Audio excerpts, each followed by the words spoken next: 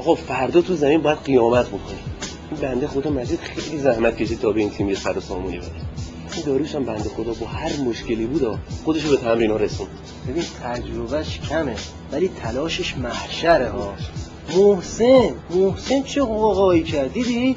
اصلا یه دونه توپ هوایی هم از دست نداد. خدا کنه فردا هم همینطوری بازی کنیم تو زمین.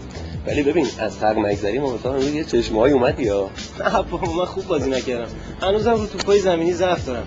اونجا مگه تو درست سان نگرده بودی اصلا هیچ وقت نتیجه نمی‌گرفت. اونش با من. تو اگه خوب جاگیری بکنی یا من هوا تو زمین دارم. اون توپای زمینی ضعیف هستی. ولی چی؟ نقطه قوت تو اینه خسته نمیشی. فردا رو همین کار می‌کنیم تمومه. ببین من حالی نیست فردا به هر قیمت شده باید اینا رو صافشون کنیم من خودم اگه چهار تا به تاق دروازهشون نکوبم از زمین بیرون نمیام خب ملاحظه کردید؟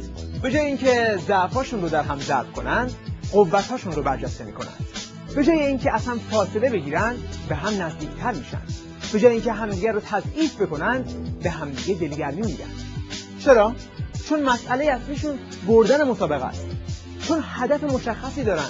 خوب می‌دونن که بدون وحدت یا همون کار تیمی نمی‌تونن به هدف برسن. اگر کسی واقعا بخواهد دیکتاتوری ولایت فقیه در کار نباشد و سرنگون شود این امر هم اصولی دارد که باید آن را کشف کند. اصولی که دل بخواه افراد نیست. یکی از این اصول اصل وحدت نیروهای خواهان تغییر است.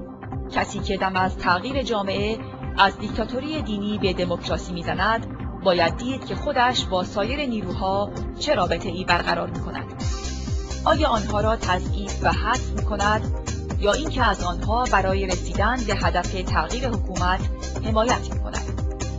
اینجاست که به اصل وحدت و همبستگی نیروها علیه نظام ولایت فقیه می